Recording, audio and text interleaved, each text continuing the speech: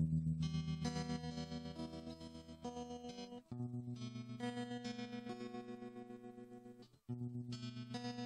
Всем привет! Продолжаем смотреть интересные картины Музея изобразительных искусств Будапешт. Мадонна на троне с младенцем, святым Лаврентием и Антонием Отшельником и дарителем-монахом из ордена сервиитов. Дерево 141 на 145 сантиметров. Мадонна, сидящая на роскошном мраморном троне, полной достоинства позе, представляет собой тип тех полной жизни, носящих одеяния того времени фигур, которые появляются на картинах фра Филиппа Липпи и его современников, начиная начиная с 40-х годов 15 века. Данную картину связывали с именем Фра Филиппа. Исследователи считали автором этого произведения ученика Пизелина Пьера Ди Лоренцо. Другие приписывали его кисти Фра Диаманта, работавшего в мастерской Филиппа Липпа. Как предполагают искусствоведы, картина, которая хранится в Будапеште, могла быть написана фра Диаманты после того, как в 1469 году он вернулся из Палета в Прата, 1470 год. Стоящий на коленях в левом углу картины седовласый мужчина с высоким лбом и резкими чертами лица фигурирует и на другой картине «Обрезание Иисуса», вышедшей из-под кисти художника из круга